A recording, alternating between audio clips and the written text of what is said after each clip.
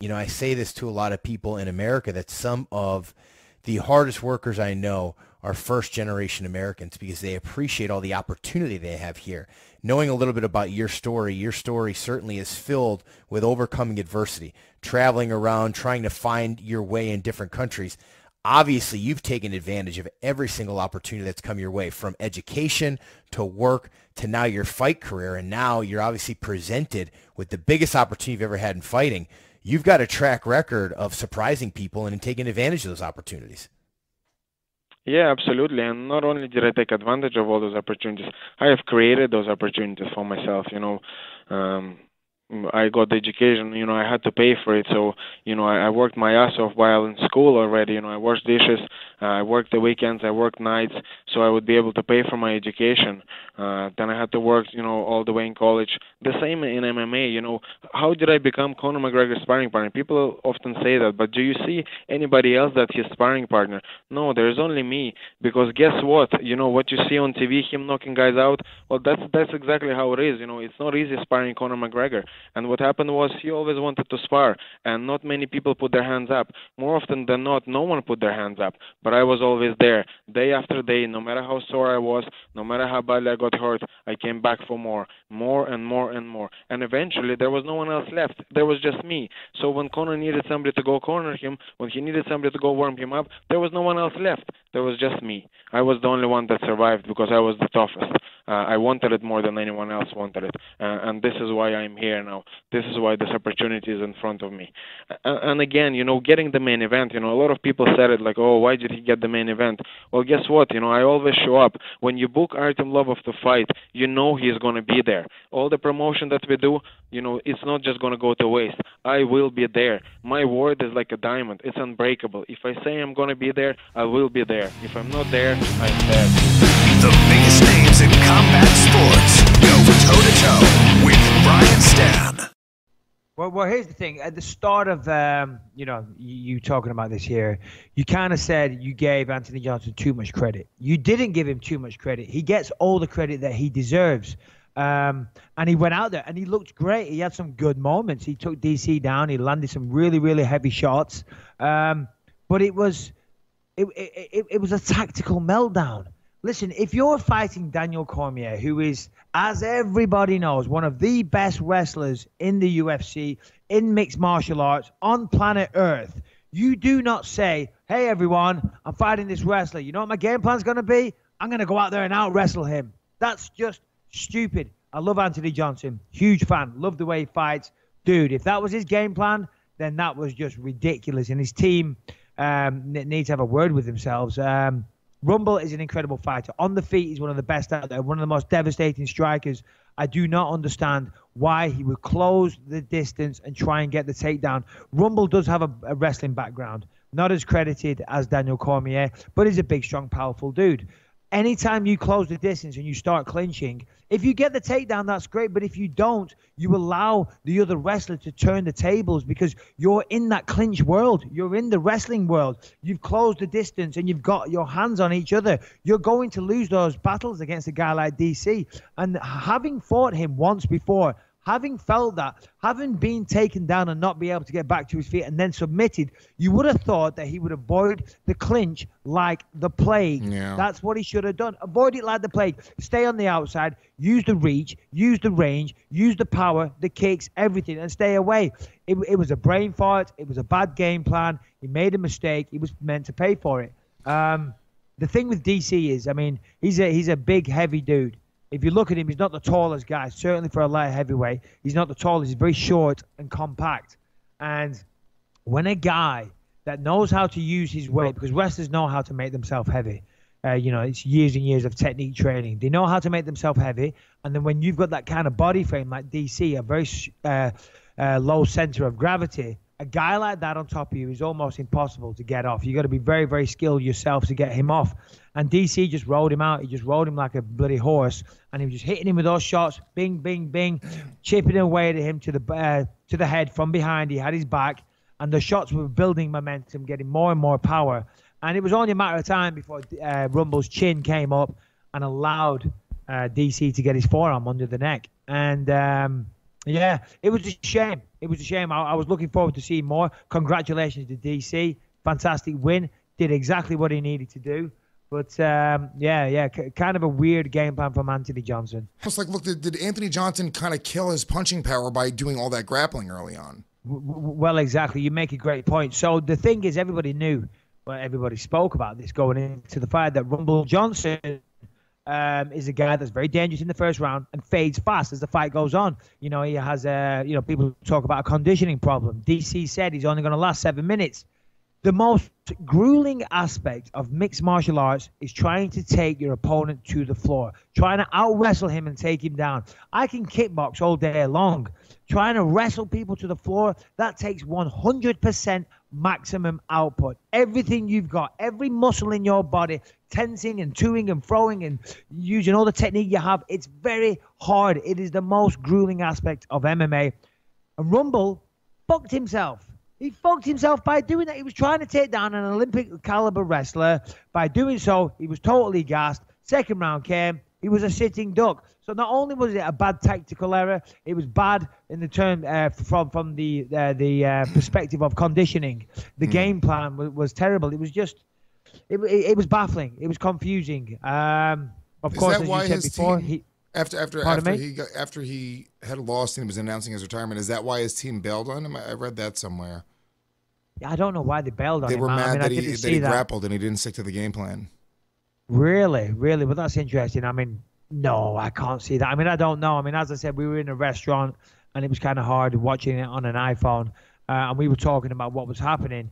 Um, I can't imagine his team would abandon him in the octagon for doing that. You know, and if they did, shame on shame on them. You know, because things happen in a fight. You know, you can't go out there. Yes, well, it's like Mike Tyson famously said. You know, everybody has a game plan until you get punched in the face. Sometimes, once the fight happens, you're on autopilot. And, and, and it's the really good fighters that can stick to the game plan on autopilot. And then other times you're just reacting to what's happening to you. You know, so it, I, I would assume his coaches, his teammates know him. You you get a bond. You you become like brothers. I can't imagine just because he didn't stick to a game plan, they abandoned him and left him in the octagon. This is uh, from audio. Yeah, this is a real deal. This isn't like bullshit. They left him because he abandoned the game plan and then retired. Whoa. Well, well, man.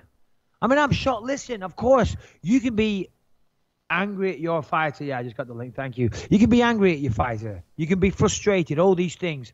But there are conversations that you have in the locker room afterwards, or you go out to dinner afterwards and, and you be realistic and they say, you know, I mean, I've had losses and, and I've, I've I had to sit down to my coaches and say, you know, what do you think? And they've said, listen, you know, that sucked. That was bad. You did this wrong. You did that wrong. You shouldn't have done this. You did this good, but let's not sugarcoat it. You shouldn't have done that, this, and the other. For his coaches to abandon him in the octagon, if that's what they did, and I know you've just sent me the article, but we are doing a podcast. I'll read it later. Um, if that's what they did, then I'm just going to throw it out there right now. Shame on them. You know, maybe, um, you know, they might not talk to me anymore. They might not train with me. Well, I don't fucking train with Henri Hooft anyway. If that's what they did, if they couldn't stick by their fighter after he's just gone out there to battle, then shame on fucking them. You know, they're just after the glory. They don't give a fuck about Anthony Johnson. If they, if if that's what they did, because he wrestled, they, they didn't even stand with their fighter and walk him out and help him walk out the octagon and, and make him feel better. It takes balls to go out there and fight. And whether you stick to a game plan or not, you should still get the respect of everybody involved, you know. Um, so if, if that's the case, then I'm, I'm disgusted with his team, to be honest. Yeah, that's uh, it's very it's very strange. The whole thing, the whole night, both the main and co-main, there are these weird things that have happened in both of these fights. Um, and what is going on? Why is he Johnson? wrestling him? This is stupid. Why is he? Fuck it, man. Just get off the cage. Get out of there. Why isn't he listening? He's tired already. I don't know why he's doing that. We have no expletive eyes. He has no fucking eyes. You're doing great. Don't fuck up. Don't wrestle him. Oh man, just keeps going on and on and on and on and on. Why the fuck does this happen every fucking time? Crazy. Yeah, I mean, I but but but hold on. It doesn't say there that that was the reason that they left. I mean, that is a, a, a normal dialogue that cornermen will have to themselves. If their fighter is out there and they're losing and they're doing things that they shouldn't have done, you're entitled to have an opinion. So maybe if that isn't the reason why they walked off, then I apologize to his team for what I said. If they walked out there because he lost and didn't stick to the game plan, then yeah, I stand by my words. But they're uh, as cornermen, you're allowed to have a dialogue to each other and say, Jesus, course. he's doing it again. he's doing it again. The whole training camp, we told him not to do this. I guarantee the entire training camp, Rumble was not supposed to wrestle. You know, so of course they're going to be frustrated. But if they didn't have the, if they weren't man enough to stand there side by side with him in victory or defeat, you're supposed to support your fighter. Simple as that. Yeah. Yeah, well, that's exactly what it's for. It's for the viewer. It's for the TV experience, so that the viewer at home can hear what's happening in the corner. Um, I guess a way around that would just be to stick a microphone on a boom over the top of the corner. That would make things a lot easier. Uh, but no, I, I don't think that's an invasion of privacy. You know, it, it's all part of it, and uh, you know that, that that's just the name of the game, Lewis. So uh, all good. Why did Anthony Johnson retire? What is going on? What is this mystery job that he had? Hold on one second. Babe, put the dogs outside. Fucking dogs. I, we just came back from Vegas, and uh, the dogs have been in a kennel all weekend. Uh, a five star kennel, uh, I might add. And they've just come in and they're going psycho because I'm here. Uh, very, very distracted, so my apologies. Uh, why did Anthony Rumble Johnson retire? Is that what you're asking? Yeah, he said he got another job. Have you heard anything behind the scenes? Yeah, no, no, I haven't heard anything. I haven't heard any whispers, any rumors. I don't have a relationship with Rumble Johnson other than being a big fan and meeting him once or twice and shaking his hand and saying, you know, hey, how you doing? Um, I'm assuming he's got something um, lucrative in the pipeline. Dana referenced something last night that you know Rumble said something like that. But at the end of the day, and, and my son said to me last night, Callum, he said, "Why did Rumble retire? That doesn't make sense." And I argued with him. I said, well, it kind of does make sense. You know, I mean, everybody wants to be the world champion. And this is a very, very tough, unforgiving sport. People don't realize the fight is the easy part. The training and the lifestyle is the hard part. You know, I mean, I've said this a million times. You know, when you fight, you go out there, you get the the applause of the crowd, or or in my case, the boos, if I'm in America. Uh, you get the applause. Or You get Australia. the you, you, you get the victory. You get you get the thrill of victory. You get the thrill of competing. You're competing in the sport that you've chosen in front of the world on TV all over the place, in front of twenty thousand people. At the end of it, you get a big fat check. You know, and, and it's great. It's awesome. You are a professional sportsman competing at the highest level, and that's great on a random Tuesday morning when it's freezing cold outside and you go to the gym and your body's aching from head to toe and you're getting the shit kicked out of you, there's no applause, there's no crowd, there's no check, but you've got to do it time and after time and time again. You've got to keep repeating that process. And that's where champions are made in the training camp. That's what separates the men from the boys. And Anthony Johnson has had a fantastic career. And of course, he could stick around the UFC for a lot longer and continue fighting and continue beating people and knocking people out and putting on great performances. But he wants to be the champion, and he's failed at that twice. He lost to Cormier and he lost to him again. And part of me respects that, respects the fact that he's willing to walk away. He respects the fact that he says, well, you know what? If I'm not going to be the best, if I'm not going to be the champion, then screw it. I tried, I put my heart and soul into it, and I couldn't do it. I respect a little piece of that, and he's smart enough to walk away while he's still got his brain cells, while he's still got you know not too many injuries, and he's still young enough to pursue another career. So if that's the case and that's his choice, I say well done. Thank you for the knockouts, and best of luck in your future life. Wow, classy, Michael Bisping. Well, what's well, what do you want me to do? You can't give a guy shit for retiring. You surprise me sometimes. I don't know. Every once in a while, you surprise me. What am I going to say? Well, thank you very Um, much. Also, he said that he is open to possibly returning one day if he can get Jon Jones at a heavyweight. He's been chasing that Jon Jones fight, obviously.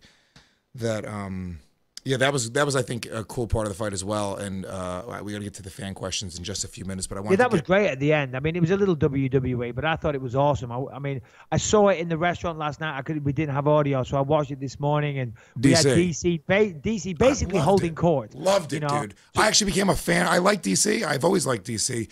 I became a fan of DC as like a a, a, a personality type and a guy on the microphone. yeah. He be, he said, "Fuck it, dude. I'm gonna be a bad guy." And he grabbed the mic and he said, "Jimmy, you ain't ready for me, baby." And he went to Jon Jones. Like Jon Jones, shut up, man. That was two years, dude. It was great. Really good. Yeah. No, no, no, no. It, it was awesome. I thought uh, he He endeared himself to the public. Um, he handled it like a man, and he put them down. And it made for great TV. And, and whether or not they go with uh, Jimmy Manuwa or Jon Jones, I mean, they got some great promo stuff there. So uh, yeah, good stuff. It was